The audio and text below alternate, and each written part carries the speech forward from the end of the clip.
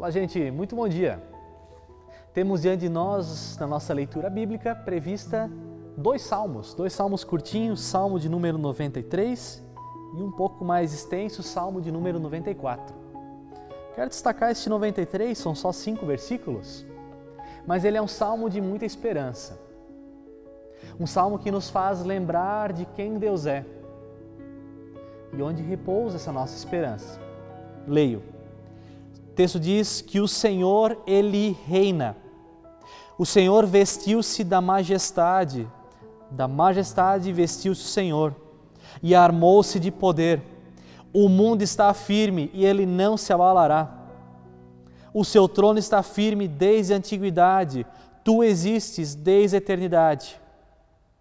As águas se levantaram, Senhor, as águas levantaram a voz, as águas levantaram seu bramido, mais poderoso do que o estrondo das águas impetuosas, mais poderoso do que as ondas do mar, é o Senhor nas alturas.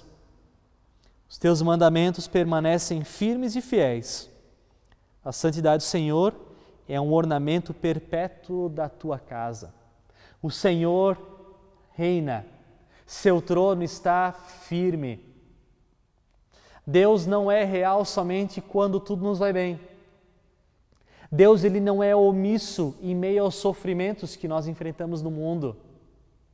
Deus continua reinando.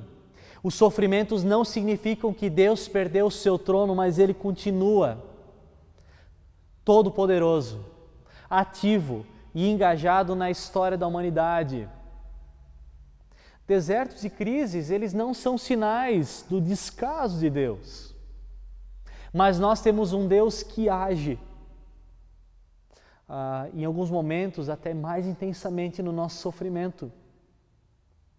O texto diz que o Senhor é mais poderoso, Ele é mais poderoso que as águas, é mais poderoso que, a, que os trovões, que o estrondo do mar, mais poderoso que as ondas é o Senhor.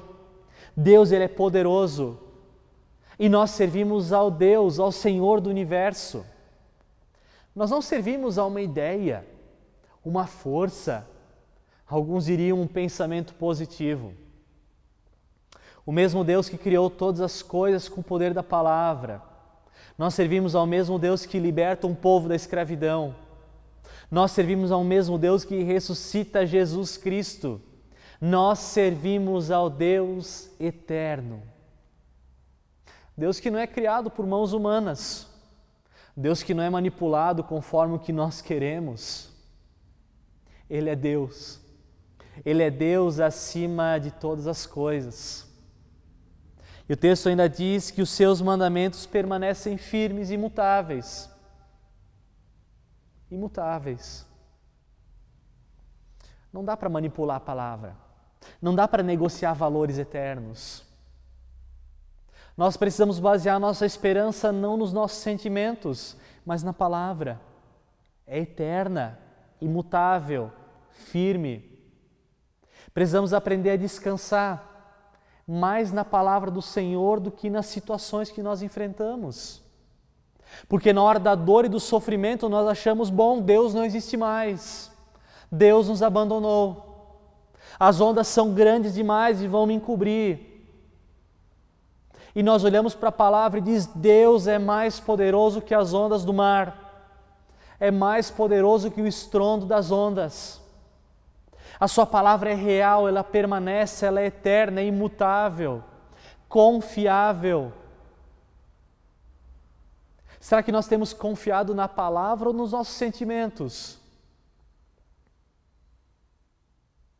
Onde nós temos colocado a nossa confiança? Existe uma frase, termino por aqui, de um homem chamado Rick Warren.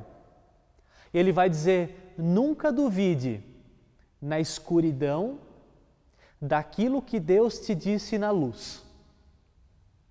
Em tempos de seca espiritual, você deve confiar pacientemente nas promessas de Deus e não nas emoções. Confiar na palavra mais do que no que a gente sente. Não duvide na escuridão. daquilo que Deus te disse na luz. Amém.